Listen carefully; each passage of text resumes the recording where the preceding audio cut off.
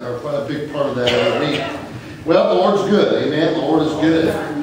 And, uh, you know, I, I, I have a confession to make. I know we, we've seen Bruce Jenner Jenner in the news a lot lately, you know, and so forth. My confession is, I used to be a man trapped in a woman's body. I hate to have to make that confession. But then my mother gave birth. Amen.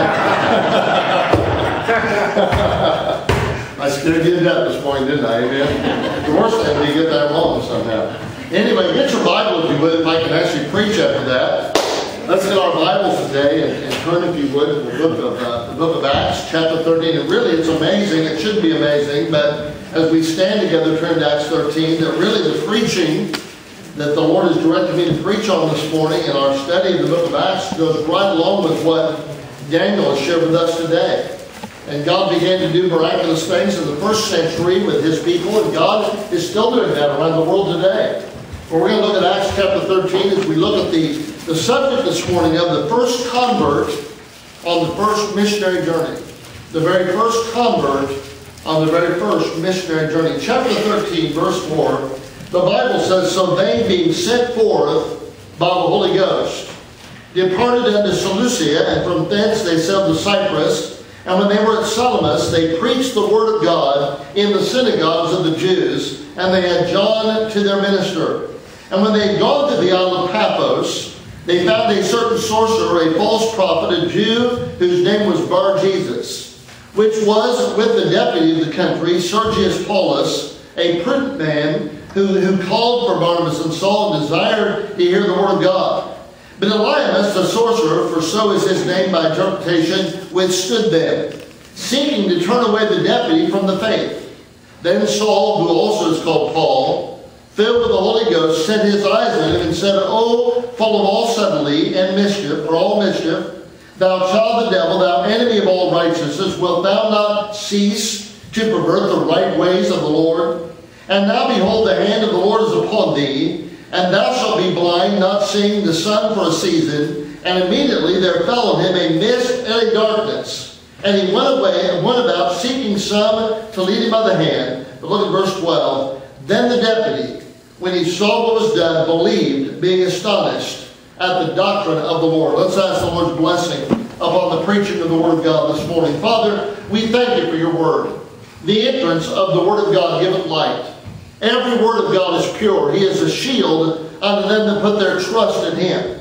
Lord, we thank you for the Bible today. We thank you for the Word of God. We thank you that this book, the Word of God, shines as a light in the midst of a dark world. We thank you, dear God, for your Word. We thank you now for the work of the Holy Spirit in speaking to us through it. And we pray these things in Jesus' name. And for His sake we pray. Amen. You may be seated. As we come upon this portion of the book of Acts, I think it's an exciting time.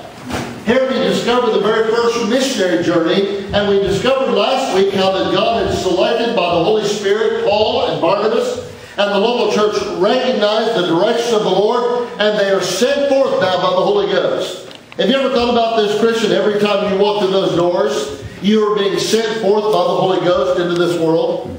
God has put us in this world to be a witness for the cause of Jesus Christ. And so these men being sent forth out of the church, I understand you may not be being sent forth in the same way that a full-time Christian worker like Paul and Barnabas were, and John Mark, of course, who also accompanied them on this first missionary journey, but we are sent forth with a message. There are people you can impact for Jesus Christ this week. And I'm sure there was great excitement great anticipation in the life of Paul and Barnabas as they began to anticipate what God was going to do for them. Now, as they begin to go forth, we find here in the Word of God, the first place they go is the coastal city there. This coastal city, they go forth to, uh, to, to Seleucia, and there they begin their ministry, and then they board ship and they go to the large island of Cyprus. Now, there in Cyprus, they encounter three different groups of individuals. Number one, they find a lot of Jews living there, amen? Jews that have not yet believed on Jesus as their Messiah. There were also many Gentiles there who had converted to Judaism and who were worshiping in the synagogues. But there were also another group there. There was a group of Christians who had fled there because of persecution. Many had gone to Cyprus. And so there were many believers there already. And so Paul really has some work to do in missions here. Number one, there are people who need to be saved. There are Jews. There are Gentiles that need to be saved. But there are Christians that need to be discipled and to grow in their faith. Have you ever thought about this, that as you encounter people in the world, really we encounter people, number one, who have been saved, who have never followed the word of baptism. Have you ever thought about this? There are also people that are saved and baptized that are not in a good church, that need to be a part of a local New Testament church. But then, of course, there are people that are lost, that have never heard the gospel, that do not understand how to be saved. And so, in a very real sense, you and I are either a missionary or we are a mission field. If we're a missionary and we understand our role, then we need to be winning to, to Christ those that are lost. And we need to be doing that. We also need to be encouraging those that are saved. I mean, you'll meet people who are saved who really need some completing done in their life. They need some discipleship. They need to grow from where they are to where they potentially can be for the cause of Jesus Christ. And so we need to we need to have our eyes open and be aware of, of our ministry as, as individual believers. I want you to notice, first of all, I'll give you three main thoughts today. Number one, was in the synagogues. We talked about who they would find there. And look at verse 5. The Bible says, when they were at Salamis, there they preached the word of God in the synagogues of the Jews, and they had John to their minister. Now, John was known as John Mark, and of course we know that on this first missionary journey, he departed. Later on, when Barnabas wanted to take him with him, there was contention between Paul and Barnabas, and it was arose and arose to be such a contention that they parted company with each other. And so John Mark, John Mark had departed. But later on, when Paul was in prison, he said, You bring John because he's profitable to me. And I want to tell you how profitable he was. He was the penman that wrote for us the book of Mark, uh, the, the second gospel in our Bible Matthew, Mark, Luke, and John. Matthew, Mark. Mark was penned by John Mark. And so obviously he was profitable. You know what we can learn from that? There are some people that maybe we may think at some time in their life are not worth a whole lot. Amen. Later discovered that John Mark was very valuable and was, was an individual that was useful to the ministry. That's not the focus of my message today, but I just thought I would throw that in because I'm going to probably preach on that a little bit more in the future.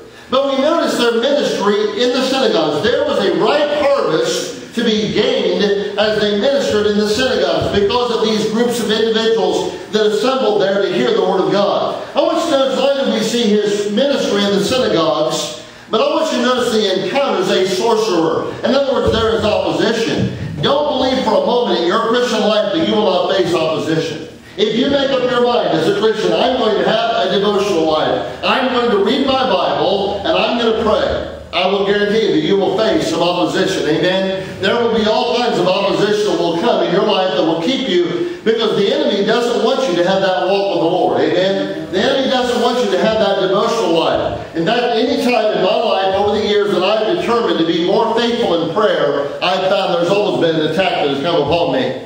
And we need to understand that we need to be growing in this area all the time. I would highly recommend that every Christian get a little book called The Kneeling Christian. It's written by an unknown author, but it was written back around the time of Dwight L. Moody, and it's called simply The Kneeling Christian. And I want to encourage you, it's a wonderful book on prayer. It's one of the best books I've ever read on the subject of prayer. I've read it several times in my life. I'm reading it again now. I think we need to be people of prayer. I think that's one of the greatest needs in the hour in which we're living today. In fact, I want to encourage you as a Christian, be salt and light this week. Be salt light. You know why I say that? Because there's an election this week. Amen. As Christians, we have a duty to be out there being the salt of the earth. Now, while you're being salt, also be light. Amen. We need, we need to realize there's people that need Christ. That's more important than voting. But I think it is important for Christian people to be registered and to vote their conscience and to, and to choose people to represent them that represent God. Amen. And I don't think we ought to be involved in the church with party politics, but I do believe we need to encourage God's people to be registered and to do their civic duty to get out there and vote their conscience. And certainly this, this election is important. The one next year is vitally important. Now, as we look at the Word of God, then there was, there was opposition. The Bible tells us here in verse 7, and in verse 7 says, which was with the deputy of the country, Sergius Paulus. So I'm going to talk about him because he becomes the first convert that we read about in the first missionary journey. Very important individual. Now notice here that this Sergius Paulus, they encounter him, and look what the Bible says about him in verse 7, who called for Barnabas and Saul, and he desired to hear the word of God. Now why was this upon this man important? Because he was the he was the Roman proconsulate over the entire island of Cyprus. In other words, he was a man of great influence, that if he was converted, many, many others would be converted to Jesus Christ. In other words, this man was very pivotal, very important for him. And God had already prepared his heart because when Paul and Barnabas arrived, he wants to hear the Word of God. He desires to hear the Word of God. Whenever God is working, and I like the way I've heard it in some of the black churches, when the Lord is blessing, the devil starts messing. Amen? And that's exactly what took place here. Is we find that as God is beginning to work, the devil is trying to bring a counter revival and brings opposition. But we notice in this passage how, just like in Daniel's testimony today, that what they meant for evil against that preacher in India, look how God turned around for good. And we notice here that when God is about ready to save this man named Sergius Paulus, who was an influential and a, and a political leader here on the island of Cyprus, we find that the devil has his band planted there that's going to bring opposition. I want you to notice that they encountered a sorcerer. You know, today we live in a world filled with sorcery. We live in a world today filled with the occult and filled with satanic and demonic influence. It's on every side today. We see it everywhere today. Everywhere from Hollywood to music. I mean, it's on every side today. A day of great delusion, a day of great deception that we live in. Now, the people in this island had put their faith and their trust in this man. And let's look a little bit about the description of the sorcerer. Number one, he's called a false prophet. I think we understand this morning that there are many false prophets out there today. People that do not believe the Word of God, or people who are leading people astray, sometimes using the Word of God cunningly to deceive. And there are many like that that mishandle the Word of God. And so he's called a false prophet. First of all, he also was a Jew. And so there were people that were putting their faith in him as a Jew. I'm sure perhaps he may have been one that also was speaking in those synagogues. What I think is interesting is his name is Bar Jesus, which means the son of Jesus. The word Bar, whenever it's connected by Bar Jonas, means the son of James. This name Bar Jesus, in other words, he's a pretender. He claims to be, even by his name, a son of Jesus Christ or a son of Joshua.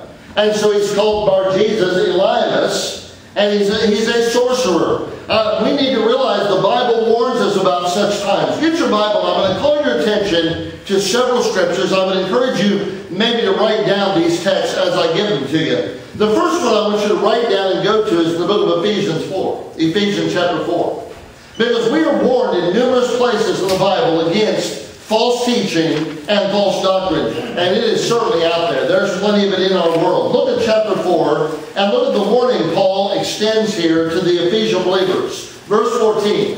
He says that we be henceforth, I'm sorry, that we henceforth be no more children tossed to and fro. Now, I'm all for children's ministries, aren't you? But can I say something about children? When you're ministering them, because they trust you, you can teach them anything. And they would believe because it was coming from you that it was true. And of course, that, that childlike faith is a beautiful thing. In fact, Jesus said, except you become like children and be converted, you won't enter in. So there is a beauty in childlike faith. And the beauty of that is that they're being told the truth. They believe it, they trust it, and they can accept Jesus as their personal Savior. Jesus said, Suffer the little children to come unto me, and forbid them not, for of such is the kingdom of heaven. But if we are saved, we cannot remain like children. That, that childlike faith that we use in trusting Jesus our Savior, we need to be we need to be far more discerning as we grow in our faith. Amen? Amen. We're not just to take what we hear as the truth. In fact, we're to be like the Berean Christians that were more noble than they in Thessalonica, in that they searched the Scriptures daily to see that such things were so. I'll be very honest with you today. Most Christians today are very shallow when it comes to the Bible and when it comes to using discernment about what is true and what is false. If that were not true, there would not be so many charlatans making so much money on religious television today, many of which are teaching and preaching outright heresy and false doctrine. In fact, I listen to some of those from time to time, And I cannot believe that, that Christian people who know their Bibles can be taken in and be so easily deceived by some of these religious workers today. But so the Bible warns us we're not to be like children, carried about with every wind of doctrine by the sleight of men. The word sleight, just like a magician uses sleight of hand to deceive you and I. You ever notice the magicians, what we see is not really what we see. And we become deceived by it. And later on, if we see how a trick is done, we say, well, I wonder how we were ever tricked. Why? Because that, magician has learned to get your attention here while he's doing something else over here. Well, that's sleight of hand. That's, that's something that is used by magicians in order to perform magic. And I'm not trying to say there's anything wrong with watching good magic, okay? As long as it's not divine. But the reality is it's called sleight of hand. Well, there are those who are guilty of religious sleight of hand. And they put all the attention, for instance, on one teaching of Scripture, and they completely ignore other teachings of the Word of God. And as a result, you can become unbalanced in your biblical belief and your system. I learned a long time ago, we were discussing this a little bit with the men the other day. You have to beware if you see one area of false teaching and reacting by getting clear over here.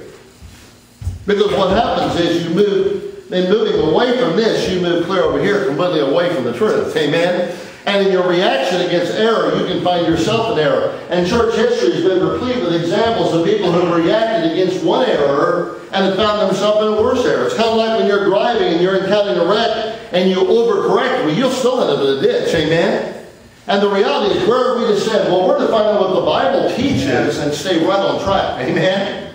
We're not to get over this ditch, don't get over this ditch, but just stay on track with what God's Word says, and God's Word is plain, and you have the Holy Spirit lives within you, you can discover and know the truth. You can have spiritual discernment.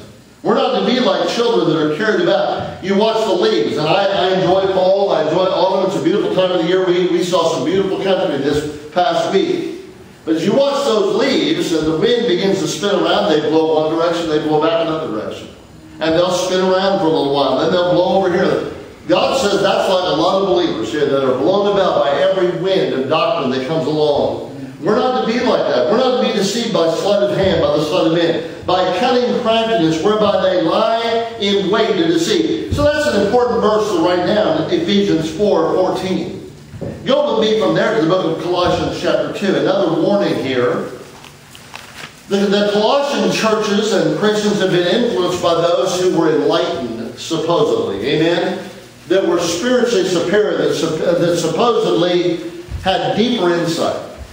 You ever meet people like that who come into church and say, well, you know, the pastor teaches this, but I've got a deeper insight of this. And, and, you know, if you would grow, you would understand these things further. That's kind of how the Colossians were being influenced. And Paul writes to them here, we don't have time, obviously, to do a whole study of Colossians, but look at chapter 2 and verse 4. It says, And this I say, lest any man should beguile you with enticing words. By the way, false teachers on the surface know how to speak smoothly, and they know how to entice, and they know how to use the kind of language that is attractive. The good life for you now. I think you've all seen the smiling face, amen, on the book in the bookstores, and, and so forth. Well, enticing words, we need to be aware of those things. I want you to look a little bit further here. Look what the Bible says in verse in verse uh, in, in, just a few verses down in verse 8 it says, Beware. This is a warning light for us. Amen. Beware lest any man spoil you through philosophy and vain deceit, after the tradition of men, after the rudiments of this world, and not after Christ. Amen. You know how you can usually tell a true teacher is they make much of the Lord Jesus Christ. Amen. They lift him up. They lift up His Word. They don't lift up their interpretation. They don't lift up their insight. They don't lift up their viewpoints. No, they lift up Christ. They lift up His Word, those who are true to God's Word. And so we need to realize, we need to beware. We need to be warned here. These are passages of warning. You see, Elymas, Bar Jesus, was a seducer. He was a false teacher. He was a sorcerer. Uh, get your Bible and you've written down that passage, Colossians 2, 4 and 8. Write down another one. Write down 1 Timothy chapter 4. This is a prophecy, and certainly it's being fulfilled before our eyes today. The book of 1 Timothy chapter 4 is a warning. It's a warning to us today. You see, the Bible, the book of Acts, is not just a history book of things that are not relevant to us today. As we preach through this great book of the Bible, there are applications that we need. We need to study what happened. We need to realize just because it happened then doesn't mean it's not happening today. It's still happening today. There are still Elymases out there. I think about in my lifetime as a young preacher, there was a preacher named James Robison who was one of the most powerful Southern Baptist evangelists this country has ever seen. Now, he's got a nice little talk show on TV now with him and his wife, and maybe you've seen it before. You may not realize he was one of the greatest evangelists in our country. The power of God was all over him. And, and he met with a man whose last name was Green. Don't be alarmed, amen? Okay? But this Green happened to be the wrong kind. Okay? It wasn't Oliver, Green, uh, Oliver B. Greene. It wasn't Andrew Green, amen? But this man began to influence him and say, you know, you're too hard in your preaching. And you, you need to be less, less straightforward. And you need to, and I need to teach you some things. And he began to sit in the teaching of this false teacher, who, by the way, was a name it, claim it, charismatic. And you know, the power of God was lifted from James Robison, and God never used him the way he used him before. He went off into apostasy, at least in some areas. I'm not saying on the main doctrines, I'm not saying that the man's not saved, does not know Christ as Savior but, but he was detoured. He was having citywide meetings that were bigger than, than Billy Graham's citywide meetings. I mean, at least as big as, and having multitudes of conversions. But after that change in his ministry, he began to preach all of this charismatic name it, claim it, I call it blab it, grab it preaching, amen. The power of God was lifted, and there was no longer any emphasis on soul winning, and no longer any emphasis on revival, the power of the Holy Spirit. And it just seems as though his ministry vanished. It was no longer had the power that it once had. We need to realize we are all capable of being, of being influenced by false teachers. Amen. Let me, let me remind you of something. God has given you some things to protect you. Number one, He's given you the Bible. Amen. You can read it and study it for yourself. Number two, you've got the Holy Spirit living within you that will guide you into all truth. But number three, the Bible says the church is the pillar and the ground of the truth. God has placed the New Testament church in the world as a place of protection for Amen. us from false teaching. Amen. That's why a New Testament church has a statement of faith in things that we believe. And those are not those those statements of faith that we hold to are not walls to keep others out. Mm. They are boundaries to keep us from wandering. Amen. So we understand where we need to be. And that's really what God wants doctrine to be, is a boundary, not a barrier. There's a big difference between a boundary and a barrier. And so, you know, barriers to keep others out. I don't want to keep others out. Amen. I'm able to keep false teachers out of this pulpit. Okay? But I want people of all faiths to come and hear the truth of God's Word. But I need boundaries in my life. And, and doctrine, sound doctrine, serves as a wonderful boundary in my life and your life to protect me from wandering off into false teaching. Amen. And so we need to realize that God has given us some good, strong boundaries in our life. Here's a warning. Chapter 4 of 1 Timothy. Now the Spirit, that's the Holy Ghost, capital S, amen, speaketh expressly in other words, he wants to make it crystal clear. That's what God's word is saying here. That in the latter times. Now, if I were to ask you how many of you believe we're living in the latter times, probably every hand would go up. Everyone, everyone would go up. So this is this not a relevant, a relevant warning for us today in the latter times? Now, what's going to happen? The Bible says some shall depart from the faith. Now, you have to underline your Bible, that little phrase, the faith. The faith. You said, well, Pastor, what is the faith? The faith is the true Christian faith whereby we are saved. Jude wrote it this way. He said that we are to earnestly contend for the faith that was how many times delivered the saints? Once. Once. Amen. That was once delivered the saints. So what the early church believed, we still believe that. We're not looking for progressive revelation. You ever notice most of your religious cults and false teachers come along and say that there is another revelation? You take Mormonism with the Church of Jesus Christ of Latter-day Saints. You need to read the Book of Mormon because it's another testament of Jesus Christ and it's inspired. Just they're always trying to introduce something to add to God's Word. Revelation 22 is very plain. We're not to add to His words. We're not to take away from them. And you can, be, you can be protected when you realize the Bible alone is proper for doctrine and for reproof and for instruction in righteousness, that the man of God might be perfect, thoroughly furnished unto all good work. We have all that we need right here, the Word of God. The book of, the book of Genesis to Revelation is the complete Word of God. Amen. But people that come along and say, well, our book was also inspired. You better beware. Amen. You better beware of that. And so we look here at, the, at, this passage. It says that they will depart from the faith. What faith? The Christian faith. Giving heed to seducing spirits. Interesting. Amen? Isn't Elymas here called, Bar Jesus, isn't he called a seducer? Isn't that what he is? Isn't that what, he, what he's referred to? In other words, he's trying to pull people away from faith. Only what was, what was the devil's goal for this man was to keep Sergius Paulus from hearing the truth from hearing the truth from Paul, and that's why the devil is sending him on this errand. You know, it's been uncanny to me as a preacher, and anyone who's a soul winner knows this, when you're witnessing and you're sharing the gospel, it's amazing how many times I've been in the Word of God, sitting in a home, opening the Word of God, showing someone how to be saved, and at that moment, company drops by.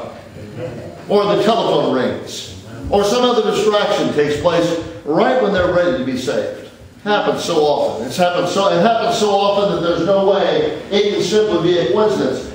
Here is uh, Paul and, and, and, Barnabas, and they're involved in their ministry, and here's a man that is ready, that has come to hear the word of God, and here comes the devil. Elymas the sorcerer, Bar Jesus, and he comes into the scene.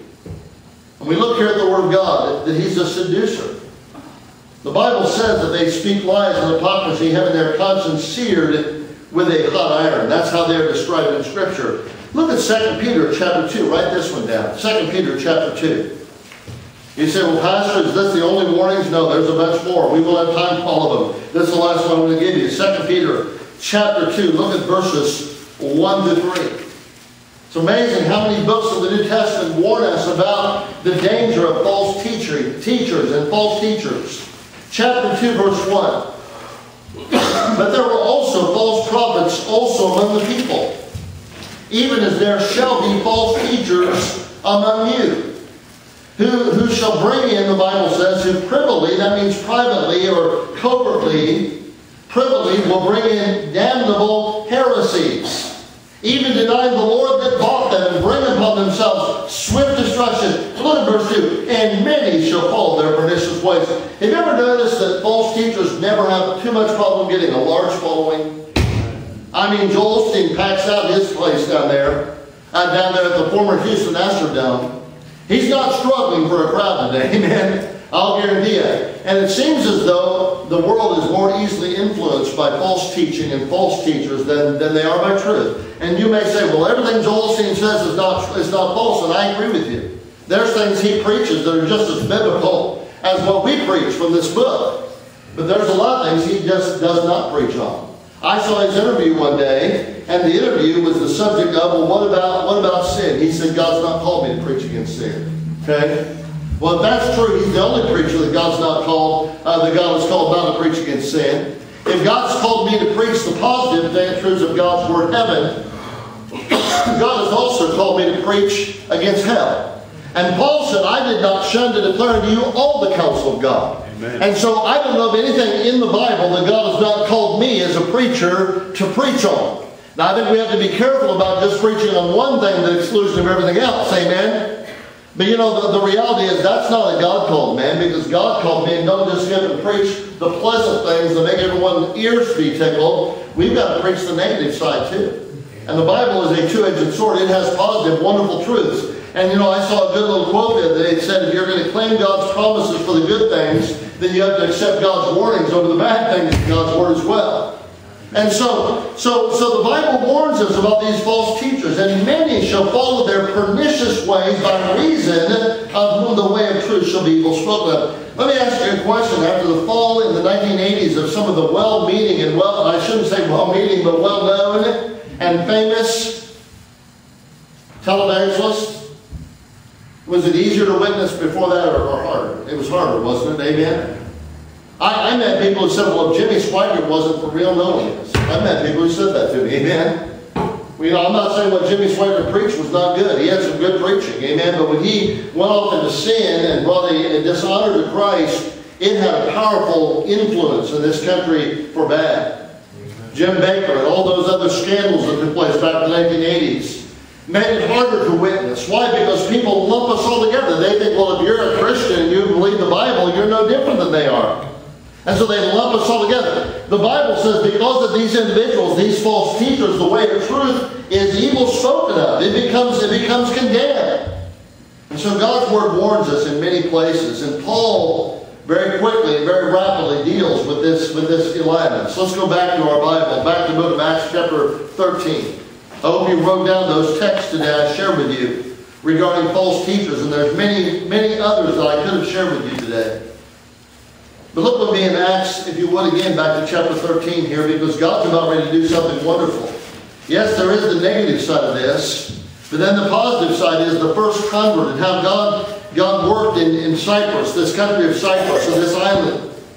I want you to notice here the Word of God, as, as we look at Scripture here, so this Elymas, the sorcerer, verse 18, withstood them, seeking to turn away the deputy from the faith, the Christian faith. Then Saul, who is also called Paul, filled with the Holy Ghost. He said, well, how did Paul deal with the sorcerer? Well, number one, he was spirit-filled. There's a power in being a spirit-filled Christian. Amen. And Paul here is filled up with the Holy Spirit. He is empowered by the Holy Spirit. He's well equipped to do some spiritual warfare here. Amen. And so the Bible says he's filled with the Holy Spirit. Second of all, he set his eyes on him. I would like to have been there. Amen?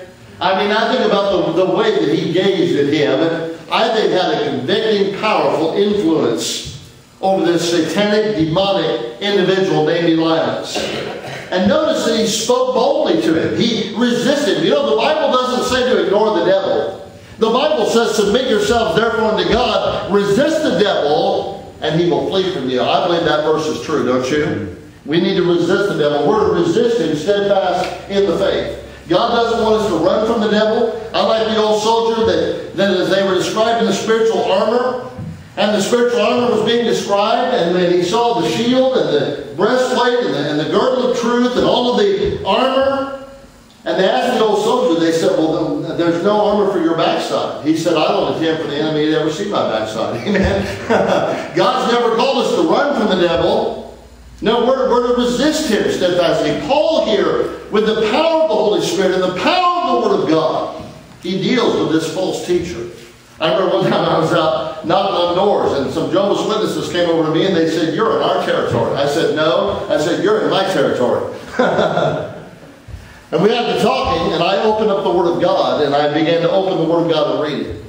And every time they did, they would want, they would turn around and walk away. I said, "See, the Bible's true. Resist the devil; he'll flee from you." Well, they kept coming back because they wanted to convince me that they weren't the devil. Well, you know, the Word of God will resist the devil. The Word of God is powerful. It's quick and powerful. It's sharper than any two-edged sword. Eventually, they realized I guess we're not going to mess around here anymore. And they went their way, and I went my way, and continued doing what God told me to do. One thing that does trouble me, though, a lot of times in personal soul winning, a lot of times I'll get to an area where God has led me to go soul winning, and I'll find literature from Watchtower and other false religions that are there before I got there, and I feel badly. I feel like, you know what, Lord, I feel like I'm playing catch-up. Amen. The devil's already been here before I got here. Well, you look here at the Word of God. You see scripture here that Paul resists it. He's filled with the Holy Spirit. And though he is withstanding Paul, though he's withstanding the message and the man, we find here that he withstands him he speaks against him. He says, and notice, he, he's not trying to win friends and influence people. Amen?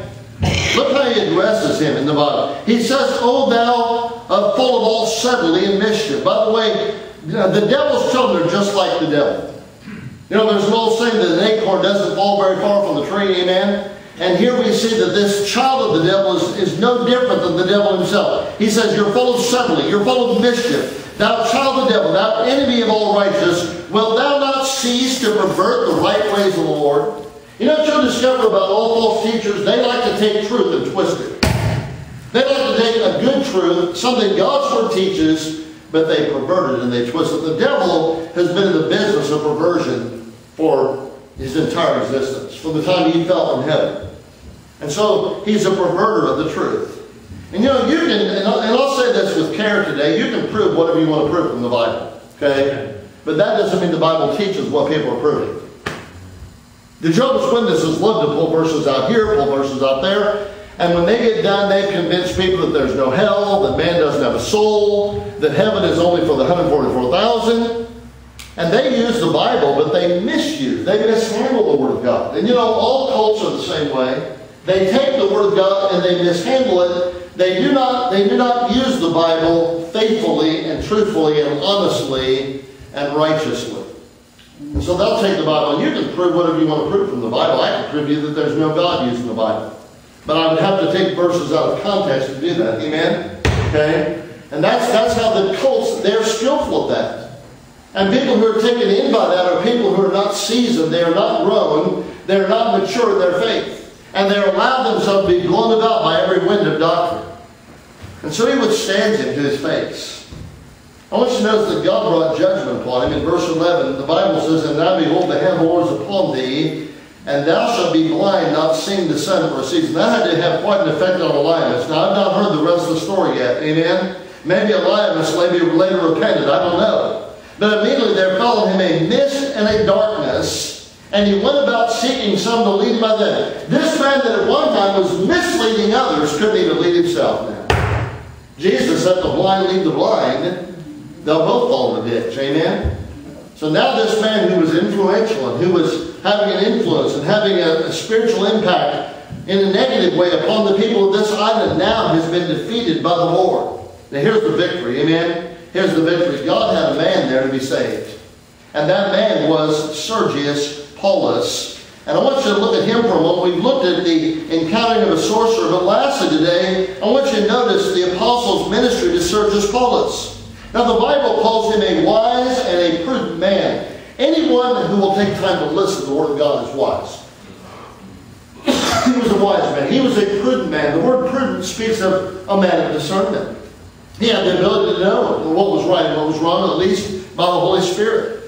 And he comes seeking out. The Bible says he called for Barnabas and he called for Saul and he desired to hear the Word of God. You know something I've learned in, in soul winning and witnessing? There's always someone who wants to hear. Amen? I don't care if it's our ministry in the jail or it's a good news club with the kids. God works in hearts. And God prepares the mission field before you get to the mission field. There's a spiritual preparation that takes place in the hearts of people. And there are people who are ready to attend to the things spoken by Paul. And then, then ready to attend to the things spoken by God's people. We were at home yesterday visiting, and Interestingly, when we knocked on the door, and many of you have met this family, and their kids have started to come on Wednesday night. Uh, Brother Dave, when I got there, when Chris came to the front door, he said, Pastor Green. He said, I knew I heard your voice. And I ministered to him several years ago, and I knew him very well. Uh, a, a, young man named Chris, and last name is Patton. And I, I'd forgotten just by the name, but then when I saw him, I knew that I'd ministered to him. And they invited us right the home. We had a good time there with his wife and children yesterday, having a good visit there in his home. And he was open to the Word of God. Amen. God opens people's hearts to the Word of God before you ever get there. The field has been prepared. God had already prepared the heart of Sergius Paulus before Paul and Barnabas had ever come here. I want you to notice as he's standing back observing all of these things, it has a powerful influence in Sergius Paulus' life. Now, as I said earlier, this man was wise and prudent.